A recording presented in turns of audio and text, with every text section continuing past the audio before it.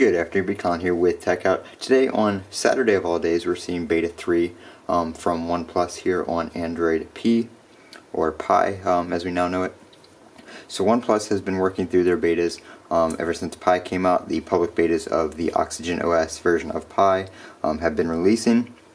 Today we see Beta 3, um, and there really haven't been many changes um, to features or anything like that since Beta 1.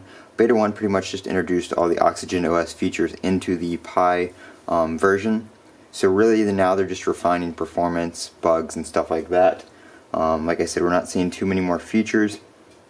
Um, on the system side of things, we do have some recent app management functions that have come in. I think those came in around Beta 2 um, and all that kind of stuff. So you can either have it normal clear or deep clear your apps when you use your um, clear option. Um, you have your OnePlus experience and all that kind of stuff.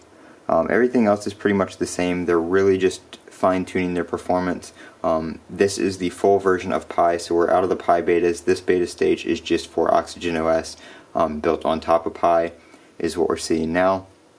Um, so performance is a little bit improved. Um, it is a little bit more smooth and faster on uh, beta 3 than it was on beta 1 and 2. That's really all we're seeing. I haven't found any new um, features or anything like that. All the Pie stuff is still working as expected.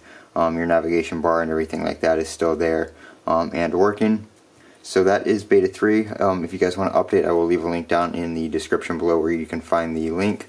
Um, I use an app called Oxygen Updater.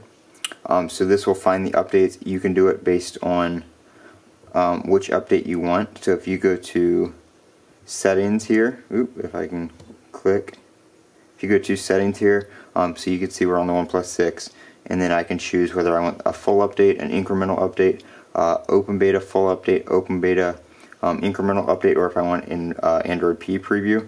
So I'm on the open beta incremental updates right now, so every time a new um, beta comes out, I can get this before it rolls out to my device through OnePlus. So you do tend to get updates a little bit faster, and that is the same if you're running a regular um, stock version. You tend to get updates a little bit faster as OnePlus rolls them out in waves. You can download the update and manually install it with that app. That app is in the Play Store if you want to check it out. Um, so check that out. It's a very easy way to download updates and betas and stuff like that.